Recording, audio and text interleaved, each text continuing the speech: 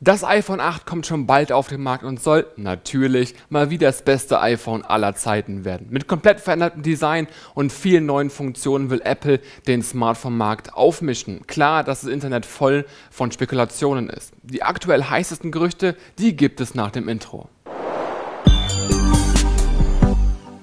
Jeden Tag tauchen neue und vor allem sehr konkrete Details zum neuen iPhone 8 auf. Und wenn das so weitergeht, wird die Apple Keynote ziemlich langweilig werden. Und das war ja auch in den letzten Jahren immer häufiger schon so. Alle Gerüchte und Leaks könnt ihr auch in unserem Gerüchteticker mit ausführlichen Details nachlesen. Und den Artikel dazu findet ihr hier oben in der Infokarte, aber auch unten in der Videobeschreibung verlinkt. Als ziemlich sicher gilt vor allem, dass es drei Modelle geben wird. iPhone 7s, iPhone 7s Plus und eben das iPhone 8. Während die S-Modelle, wo die aktuellen äh, 7, wie die aktuellen 7er aussehen, hebt sich das Design des iPhone 8 komplett ab. Es stellt sich natürlich die Frage, warum sollte Apple drei Modelle gleichzeitig auf den Markt bringen und wer würde sich dann überhaupt noch das iPhone 7s äh, kaufen oder eben das iPhone 7s Plus? Sollten sich die Gerüchte bestätigen, wird das iPhone 7s bzw. 7s Plus das neue Mittelklasse-iPhone. Was das für die Preise des iPhone 8 bedeuten würde, das könnt ihr euch natürlich vorstellen. Aus unterschiedlichen Quellen sind nämlich nicht nur Renderbilder, sondern auch erste Modelle bzw. Prototypen aufgetaucht.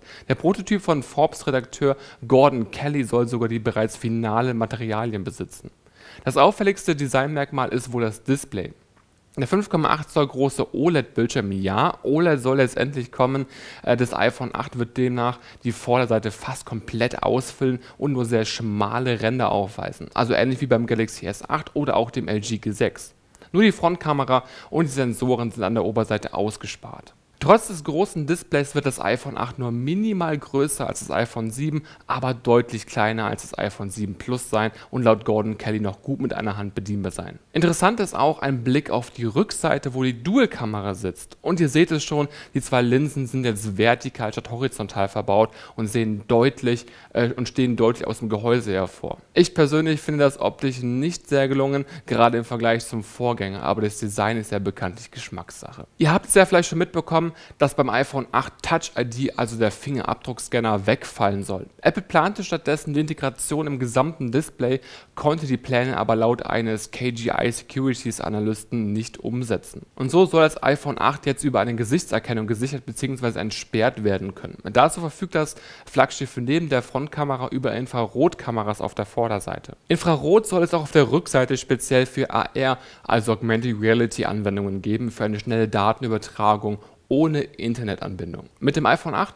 will Apple nämlich das ganze Potenzial von AR entfalten. Eventuell wird Apple dafür sogar einen eigenen Prozessor integrieren, ähnlich dem Motion Co-Prozessor, den es ja jetzt auch schon gibt. Das Gehäuse soll übrigens aus Glas statt Metall bestehen, um kabelloses Aufladen zu ermöglichen. Und dass das iPhone 8 Wireless Charging unterstützt, gilt als so gut wie sicher, denn Apple ist Anfang des Jahres dem Qi-Konsortium beigetreten. Außerdem wird das iPhone 8 sehr wahrscheinlich Fast Charging unterstützen. Dementsprechend wird es natürlich ein neues Netzteil für das iPhone geben. Apple wird wohl weiterhin auf den Lightning-Anschluss setzen. Die Verbindung zum Netzteil soll aber USB-C werden, wie bei den aktuellen MacBooks. Und mit diesem Kabel kann man sein iPhone dann auch via USB-C an sein MacBook anschließen und Daten übertragen. Natürlich wird auch immer viel über die Farben diskutiert, in denen das neue iPhone auf den Markt kommt. So, so soll das iPhone 8 laut eines KGI Securities Analysten in den drei Farben Schwarz, Silber und Gold kommen, wobei Gold eher wie Kupfer aussieht. Unserer Einschätzung nach werden die Farben aber bis zur Keynote ein Geheimnis bleiben, denn die Vergangenheit hat auch gezeigt, dass Gerüchte ähm, zu den Farben oft nicht gestimmt haben. Spannend bleibt auch die Frage nach dem Preis des neuen iPhone 8. Die beiden Modelle iPhone 7s und 7s Plus werden wohl so viel kosten wie die aktuellen 7er Modelle. Das günstigste äh, 7s Plus bei, würde dann bei Apple bereits nur 900 Euro kosten. Und weil das iPhone 8 sozusagen das neue Flaggschiff wird und viel mehr Sensoren und Techniken mit sich bringt, wird der Preis natürlich darüber liegen, also über 1000 Euro.